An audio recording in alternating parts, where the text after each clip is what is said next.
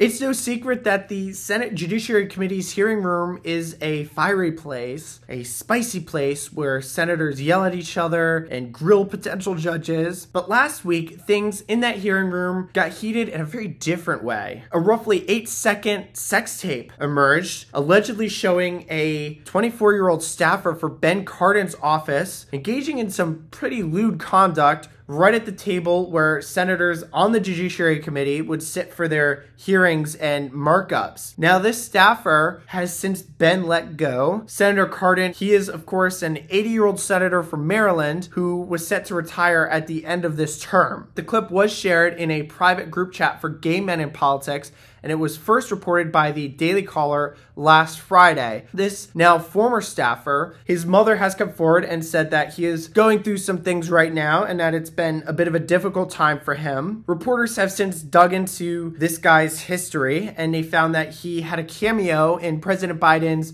2020 campaign and one of his campaign ads. And they've also unearthed some past Venmo transactions that were quite raunchy. There were payments for strip dancers and some other things that I honestly can't really even say on video. Right now, we don't know if this former staffer is going to face any legal consequences for his alleged conduct. In the meantime, you know, there have been a lot of jokes at Senators Amy Klobuchar and Chris Coons' expense because this sex tape was filmed right at the spot where they sat during a recent markup. We are definitely going to be monitoring this situation and we will keep you apprised of any updates.